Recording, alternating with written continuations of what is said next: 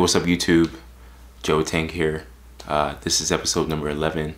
Looks a lot different than most of my content because I'm not putting pressure on myself to, you know, while I'm doing this daily vlog, a vlog is a video log.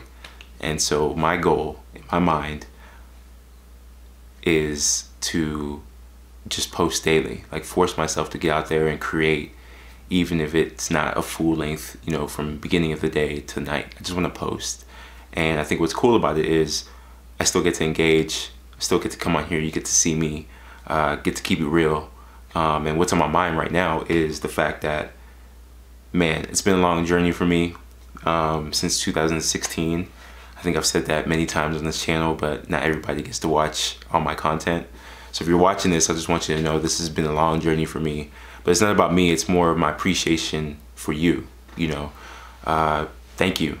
If you watch the second of my content that I posted on here, I just wanted to take a second. Like I felt like this was the right thing to do. I recorded a couple of videos to like try to make up for the lack of vlogging that I've done. I didn't vlog yesterday. I didn't vlog today, which is why you're getting this. But I like this. I want y'all to see this part of me as well.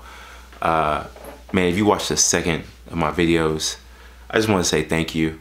Uh, you don't really realize how much it means to me that um, that you you pay attention to my stuff. I went from not knowing how to use Final Cut Pro, which is the editing software that I use on Mac, to uh, now making you know now getting paid to make videos for some brands, and um, I credit it all to the people who have been you know supporting me, whispering in my ear like to keep going, or just watching my stuff and giving it a like or a dislike, like all that attention like it goes a long way.